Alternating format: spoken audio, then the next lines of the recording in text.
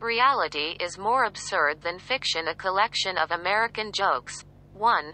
Jiang Mengshan always be ready to build meritorious deeds and wipe out the enemy. Follow read for you 3 minutes QB Nemo Nemo TC.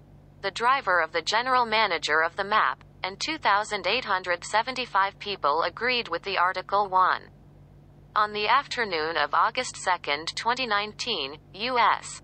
President Trump was about to leave for the weekend at the golf club in New Jersey.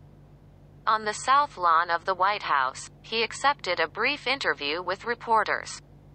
According to a Fox News video, a reporter tried to tell Trump that a farmer she interviewed said that tariffs had a negative impact on him. Trump responded, You interviewed the wrong farmer. 2. Regarding the issue of farmers, Trump said, the United States has withdrawn billions of dollars from China with tariffs, and part of it has been used to compensate farmers. Our farmers have been targeted by China. And this is the main reason.